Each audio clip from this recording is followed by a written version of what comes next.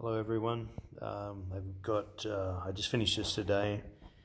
Uh, I'm probably going to put another coat over it. Uh, U Resins um, liquid glass. I'm waiting for that to come, but I'm going to put a clear coat over this. This is uh, all dyes, translucent dyes, on a 500 wide by 1200 long. Really beautiful coffee table. I'm just doing a quick video so I can show you what it looks like in the dark. I've got glow in the dark pigments in it. So I'm going to do another video of this um, when I take it out in the sunlight, maybe tomorrow, but then you won't be able to see glow in the dark. So I'm going to turn off the light now. And check this out. I hope it's okay on the video.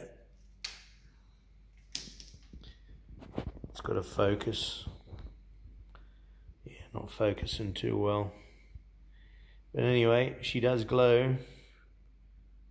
Looks pretty cool. Oh, well, another video tomorrow.